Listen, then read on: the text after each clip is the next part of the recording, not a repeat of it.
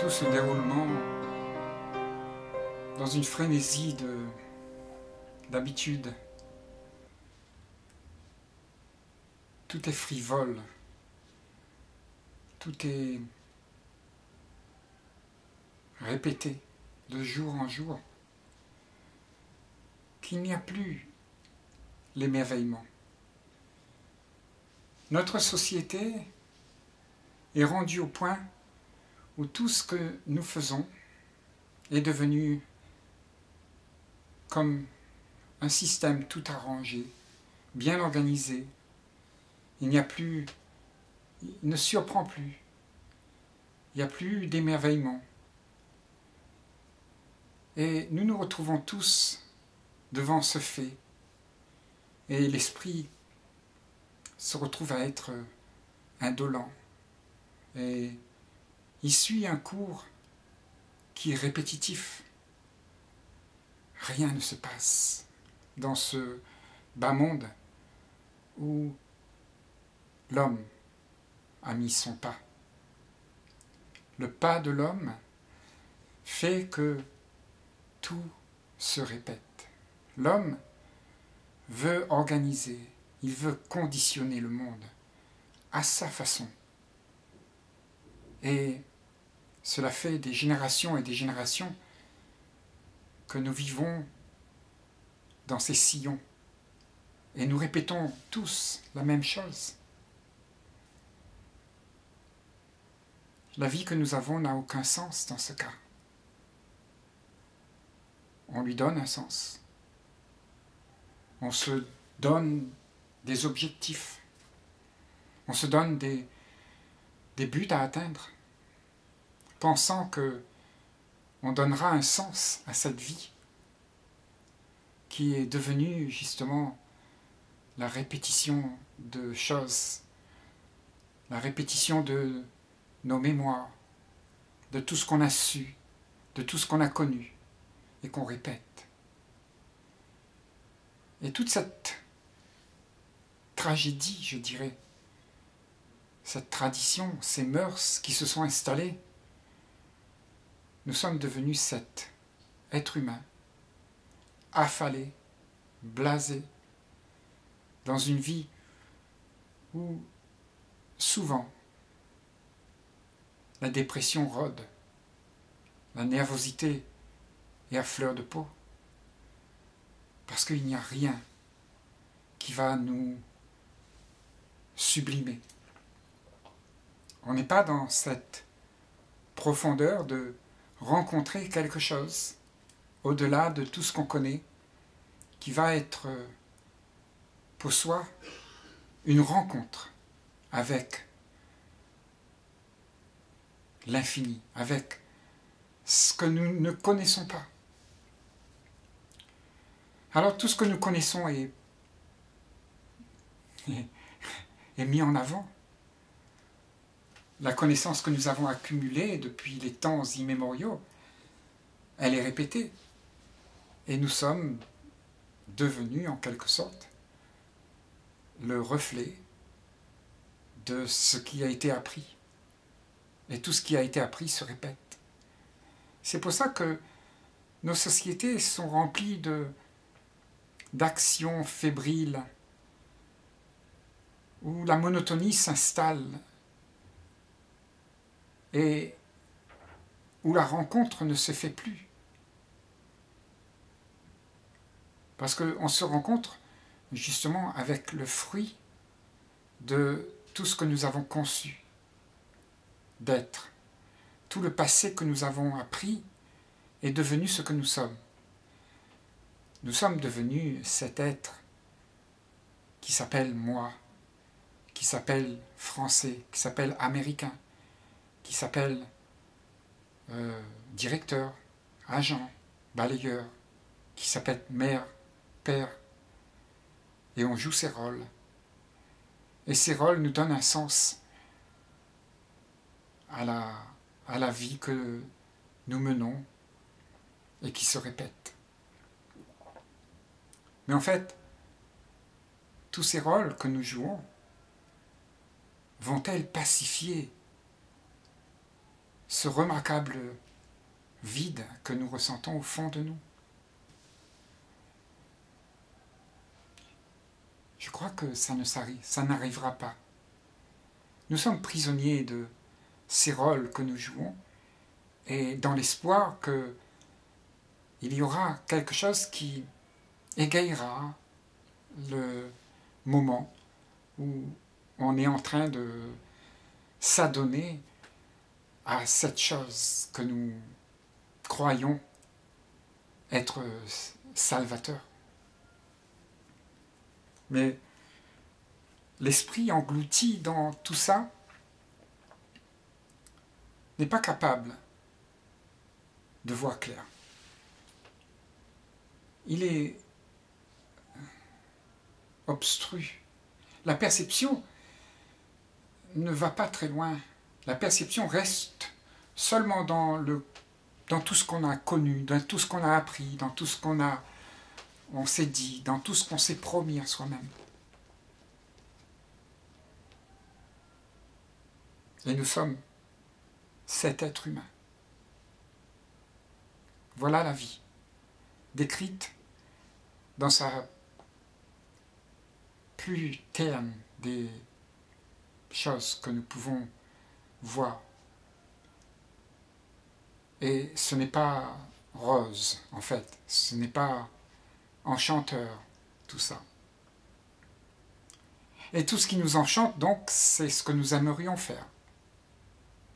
Donc, on s'invente des noms, des projets, des choses pour pouvoir enrayer cette attitude où il n'y a pas de sens.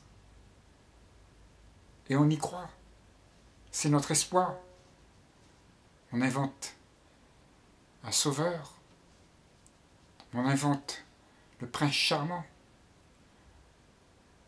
On invente la consommation qui va peut-être nous donner un peu de joie, un peu de plaisir. Mais en fait, jamais on en a assez. Jamais. Parce que nous sommes tout le temps face à ce grand vide que nous devons continuellement voir comment faire pour le remplir. Et il me semblerait que ça, c'est notre tracasserie à tous. Nous sommes occupés à remplir quelque chose qui nous est étrange, qu'on ne veut pas regarder, qu'on on ignore même.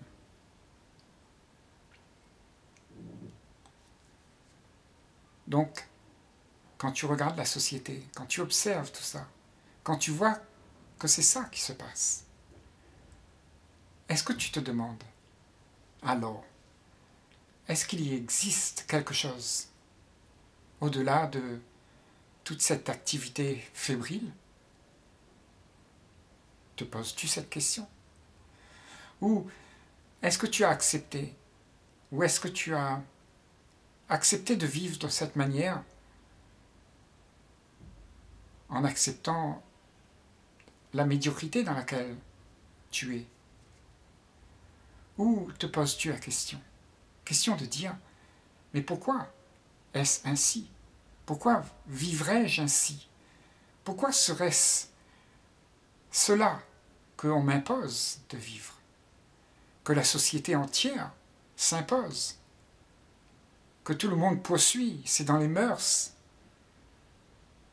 Donc on se retrouve à faire exister un monde, le monde de nos désirs. Et nos désirs va bon train. On prend des vacances, on s'accorde des privilèges. Et on se dit, oui, là c'est bien. Mais en fait, tout ce que tu vis te donne du plaisir, mais c'est du plaisir qui, qui n'a pas de sens. Parce que tu vas devoir le répéter à chaque fois. Quand la monotonie reviendra, tu répéteras encore et encore et encore. Et tu ne seras jamais satisfait de désirer quelque chose qui soit au-delà de ta compréhension. ce qui existe au-delà de tout ce qu'on peut croire, de tout ce qu'on peut penser, de tout ce qu'on peut imaginer, de tout ce qu'on peut connaître. C'est quelque chose qui vient à toi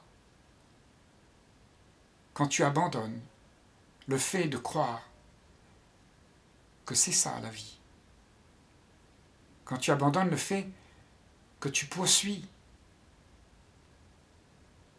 cette envie de vouloir remplir quelque chose qui n'existe pas. Quand tu abandonnes l'idée d'être ce que tu aimerais être. Quand tu abandonnes l'idée qu'il y a un but. Quand tu abandonnes le sens que tu te donnes de la vie, les promesses que tu te donnes, alors là, tu te retrouves justement devant une réalité crue de qui tu es. Et ce que tu es là, soit tu l'acceptes, ou soit tu continues de renier ce vide, tu continues à renier l'état dans lequel euh, tu es toujours retenu, c'est-à-dire l'ennui, la monotonie, l'esprit blasé et qui n'a aucun sens. Quand tu acceptes que ça, c'est ce que tu es finalement, et que tu acceptes d'aller dedans, d'aller être ça, ne pas essayer de, de te débiner, ne pas essayer de remplir ce vide, ne pas essayer de combler, de fuir en fait cet état. Alors ce que tu rencontres là, c'est en quelque part, quelque sorte, c'est ta vraie nature. Et comme tu as peur de,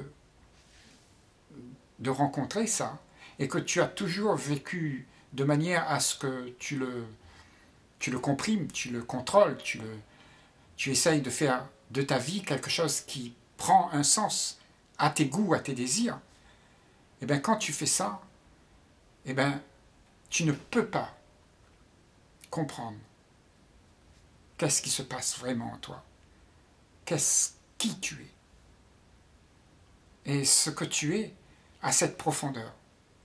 Et c'est certainement la chose pour nous, les humains, la plus difficile à faire, parce que nous sommes tellement habitués à regarder la vie sous l'angle de quelque chose qui serait mieux. Donc on cherche toujours quelque chose de mieux que ce qu'on a.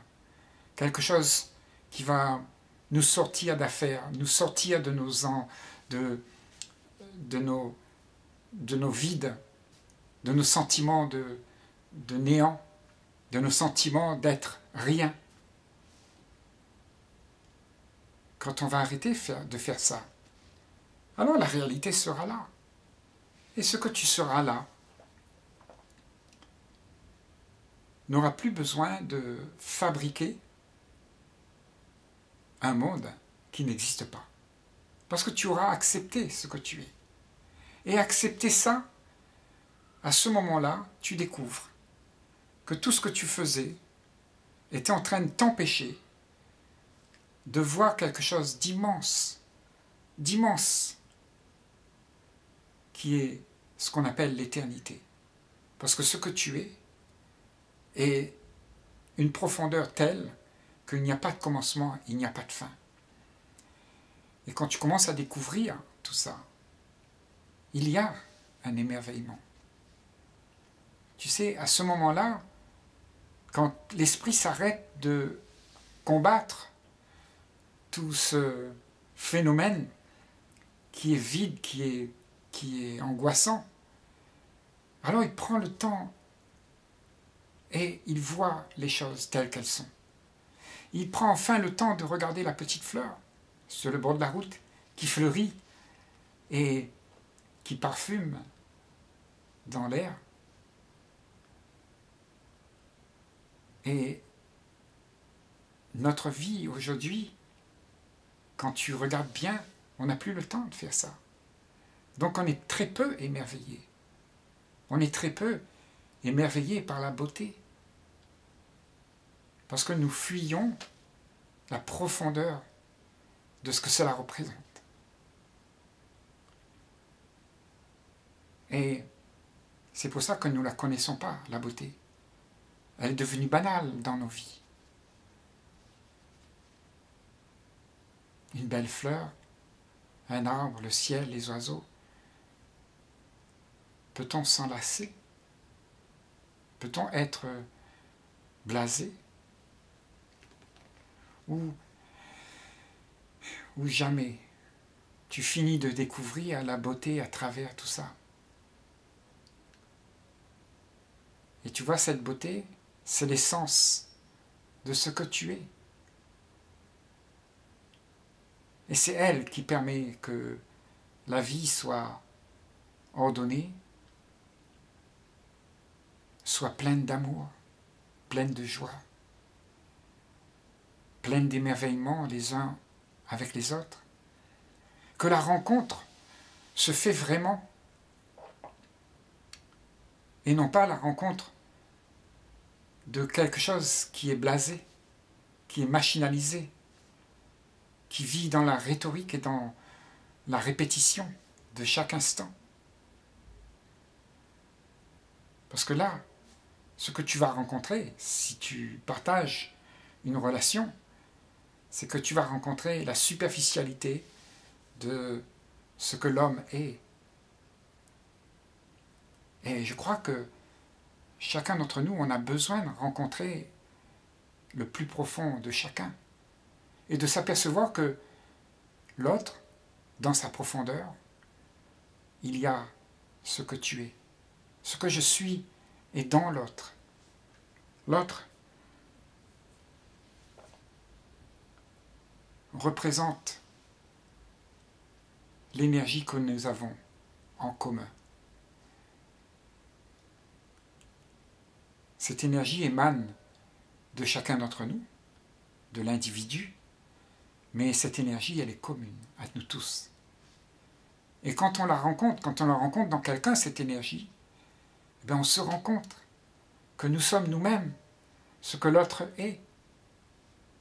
Et que toute la différence qu'il y a dans l'autre, c'est une invention de celui qui donne un sens à sa vie, de celui qui veut mettre un sens dans tout ça.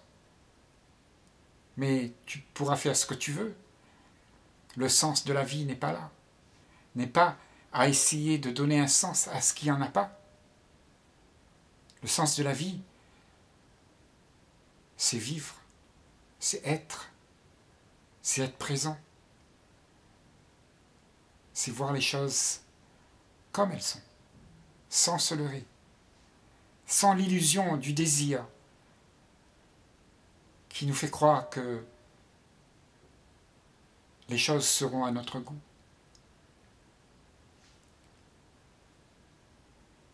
Celui qui cherche quelque chose pour être à son goût, il ne trouvera rien d'autre que le désir qu'il a d'être,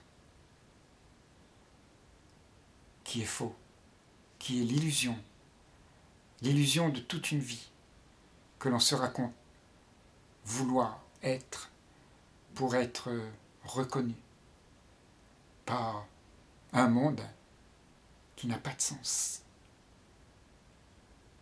et qu'on veut donner du sens en se donnant un rôle.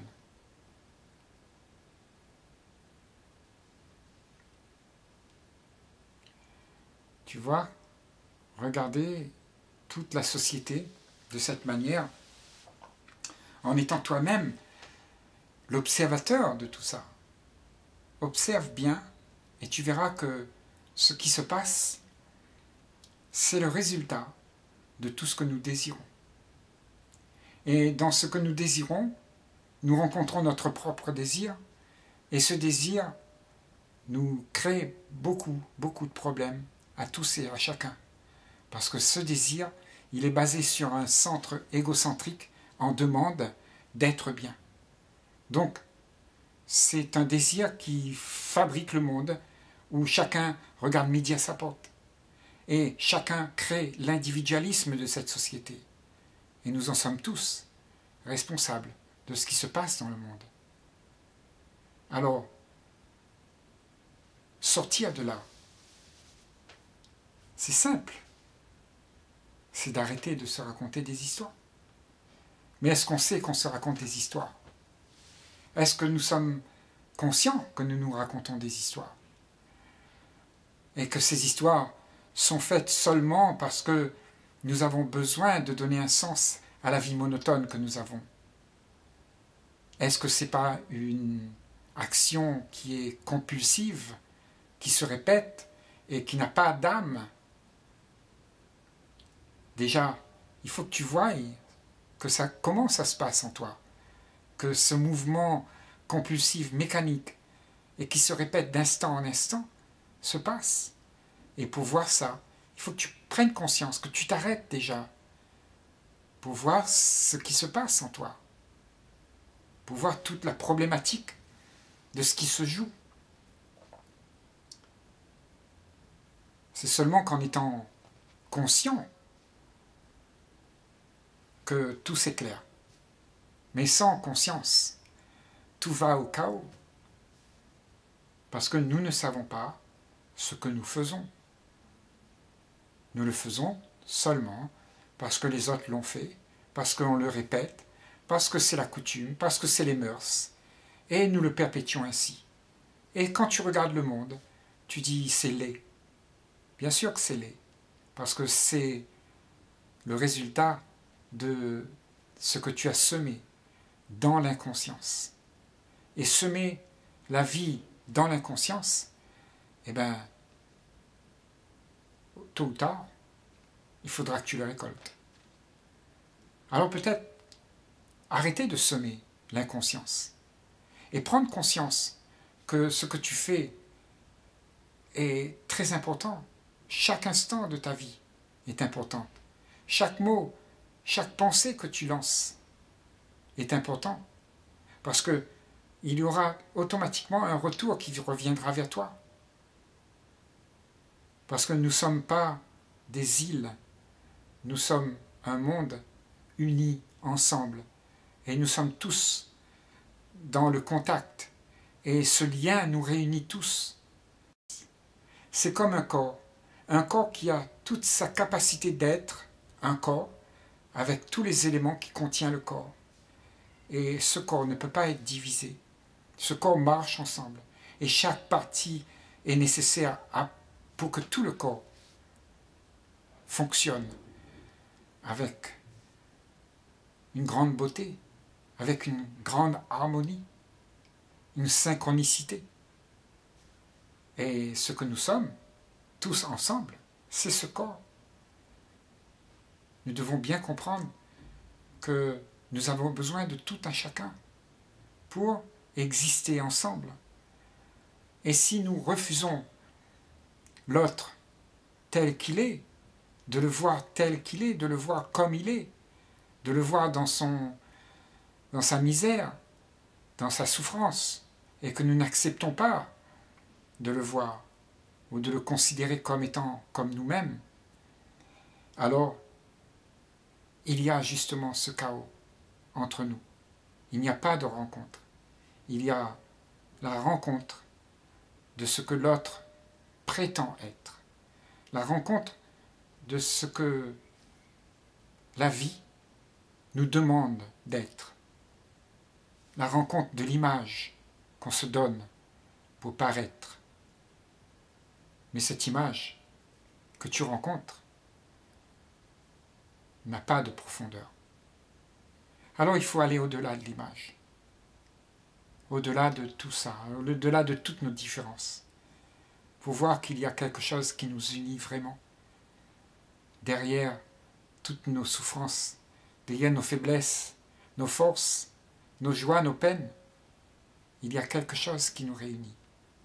Et qui fait, en fait, que quand nous avons compris cette union, quand nous nous sommes unis, eh bien, toutes ces différences s'extompent, disparaissent, et tout est uni en un seul. Et c'est à ce moment-là que la vie se transforme par l'harmonie. Et tu vois dans les rues les champs, les oiseaux, les fleurs, tu vois dans les campagnes les gens solidaires qui vivent ensemble. Et où il n'y a plus le train-train, où il n'y a plus ces esprits blasés qui cherchent un but.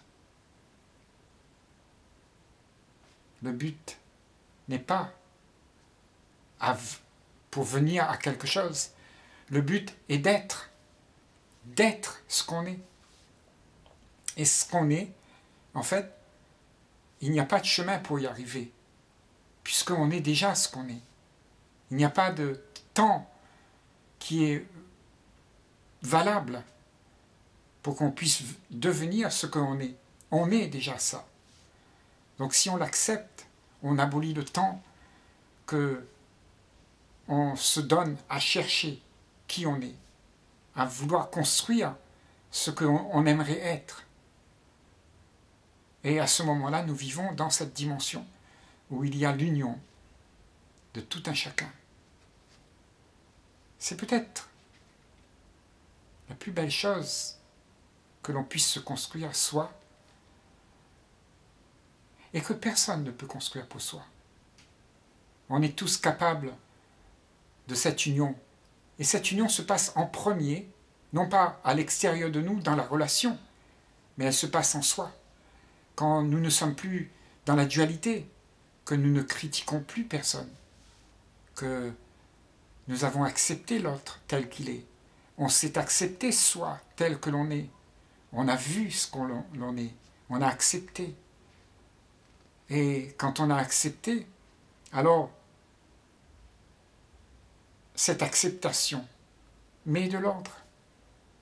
Donc, mettre de l'ordre en soi pour pouvoir vivre ensemble, c'est la chose la plus cruciale qui soit donnée à l'être humain. Est-ce qu'on sera capable d'aller vers là? Je pense que c'est toute une série de,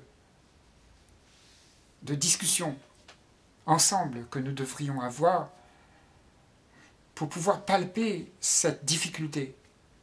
Et parce que c'est subtil. Le soi, la profondeur du soi, toute la faculté des pensées à vouloir mettre une société en route et à vouloir être ce que nous ne sommes pas. Il y a là-dedans toute l'ampleur de la difficulté humaine. Et nous devons apprendre à aller voir ça. Et pour aller voir ça, ben, il faut que nous soyons attentifs à nous-mêmes, à nos réactions, nos envies, nos peurs, nos angoisses, nos états, nos états d'esprit, qui n'est pas vrai, qui est faussé par le sens qu'on lui donne de la vie par l'illusion qu'on se donne exister avec des joies meilleures. Donc, vivre l'instant présent et voir la réalité de la vie qu'il y a, et non pas ce que l'on aimerait voir ou ce qu'il y a eu. La vie, c'est maintenant, dans la joie et dans la paix ne plus se raconter d'histoire.